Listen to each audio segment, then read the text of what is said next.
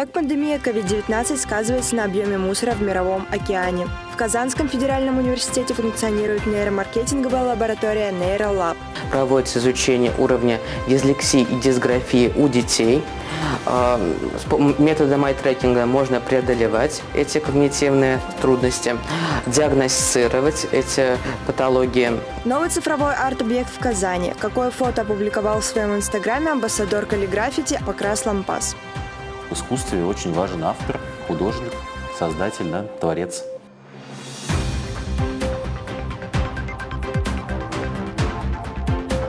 Всем привет! В эфире «Универ News», а в студии Альбина Гельманова. В Казанском федеральном университете прошло совещание под председательством ректора Ильшата Гафурова по вопросам реализации новой программы развития вуза «Приоритет-2030». Обсуждались варианты дорожных карт развития каждого подразделения в рамках реализации программы «Приоритет-2030». Пандемия COVID-19 привела к резкому увеличению объемов мусора, что существенно сказалось на мировом океане. О том, что делать в сложившейся экологической ситуации и как бороться с проблемой в нашем следующем сюжете.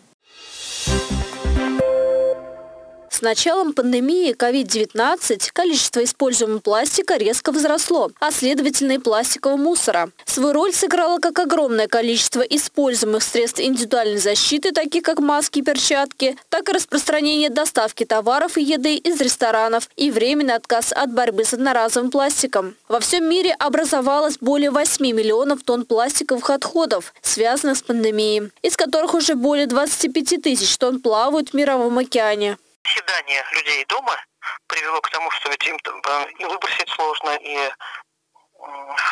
приготовить сложно, как бы если нет продуктов. То есть начался вот привоз продуктов, начался, начались покупки вот такие онлайн, началось а, достаточно а, вот, большое образование мусора, внеплановое, скажем так, да, за счет mm-hmm. вот одноразового использования посуды. Вот даже по больницам сейчас ведь тоже из одноразовой посуды кормят. Особенно сильно такой рост пластикового мусора может повлиять на океаны, о загрязнении которых много говорилось последние годы. По данным ООН, ежегодно в океанах оказывается 13 миллионов тонн пластиковых отходов. Только в Средиземном море ежегодно сбрасывается 570 тысяч тонн пластика. А в некоторых частях океана ученые обнаружили в 7 раз больше пластика, чем рыбы. Мне кажется, задачей всех муниципальных органов по весне является уборка вообще, организация работ по уборке э, территорий, э, береговых зон, самих рек, там, водоемов любых от мусора в первую очередь.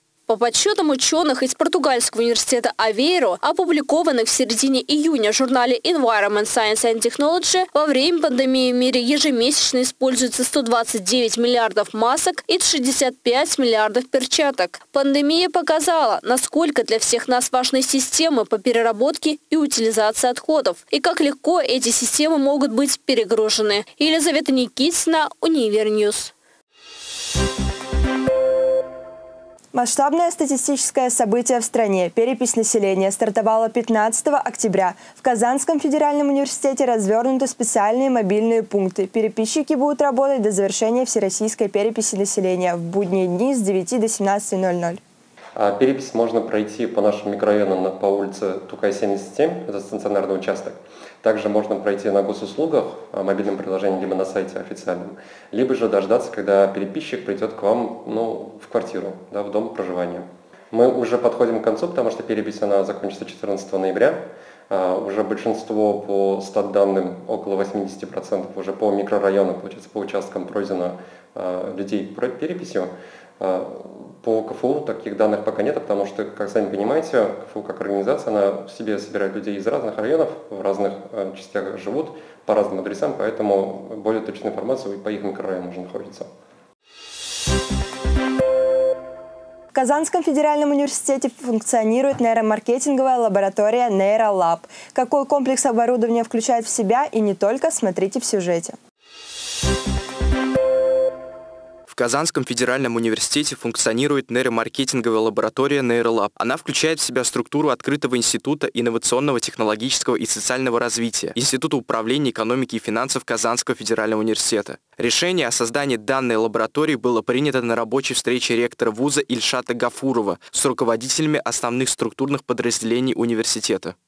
Благодаря Акбарсбанку, его благотворительной помощи, э, они нам подарили лабораторию, которая в себя включает три рабочих места. Это уникальная технология нейробарометра, э, нейротренда.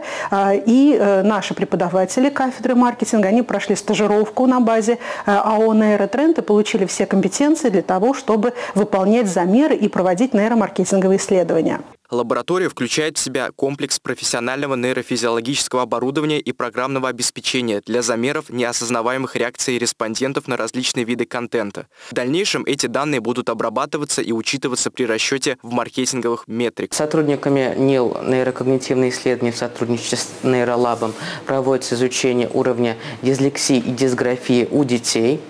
С методом ай-трекинга можно преодолевать эти когнитивные трудности диагностировать эти патологии когнитивные и речевые, способствовать профилактике, пропедевтике их в дальнейшем. Подчеркиваем, что Ильшат Гафуров отметил, что лаборатория прекрасно функционирует и служит для образовательной и научно-исследовательской деятельности. Она позволяет разрабатывать новые обучающие программы, а также научно обосновывать и проверять гипотезы маркетинговых метрик для Казанского федерального университета. Амир Ахтямов, Универ News. Казанском федеральном университете продолжается чемпионат по мини-футболу среди мужских команд. Традиционно матчи проходят по средам и воскресеньям в 19.15 и 13.45 соответственно.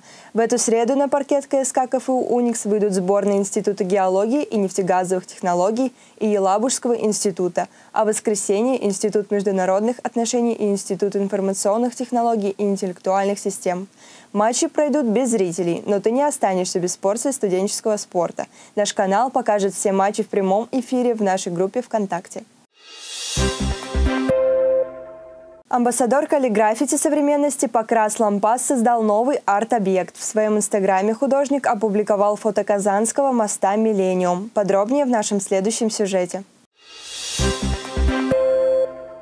Популярный российский художник-каллиграф Арсений Поженков, более известный как Покрас Лампас, посетил столицу Татарстана. Из всех архитектурных объектов Казани его заинтересовал мост «Миллениум», на который он решил взглянуть, что называется, по-новому. Новоиспеченное изображение на мосту напоминает слово «инструмент», что явилось попыткой создателя ответить на вопрос, в чем смысл денег. Фотография была выставлена в рамках благотворительного аукциона фонда «Подари жизнь» в конце сентября. Сегодня небо плачет так же, как и люди, которые хотели увидеть увидеть произведение искусства вживую. Когда Покрас Лампас выложил в Инстаграм долгожданную работу, жители Казани толпой побежали сюда, к этому мосту, чтобы сделать классные фотографии и записать крутые истории.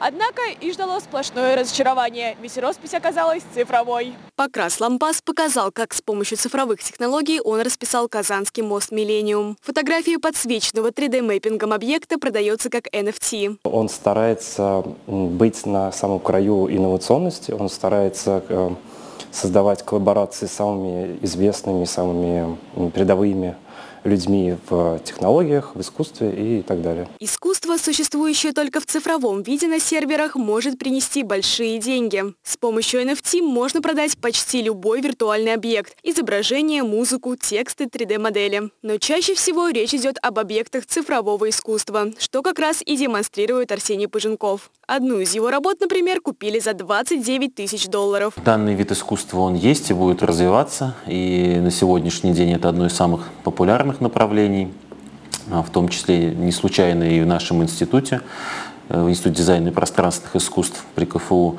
А, в этом году открылось направление motion дизайна. Единого и четкого определения у NFT нет и, вероятно, не появится. И вот подтвердить какую-то свою цифровую работу в интернете до NFT было практически невозможно. Да? А сейчас, благодаря этой технологии, кажется, что это станет э, реальностью. Мы можем подтверждать как любое медиаискусство, так и любой продукт в принципе. Это своеобразное цифровое имущество плюс набор определенных прав на него. И с технической точки зрения неважно, идет ли речь о настоящем искусстве или о случайно созданном файле. Надежда Мещерякова, Александр Кузнецов, Универ News.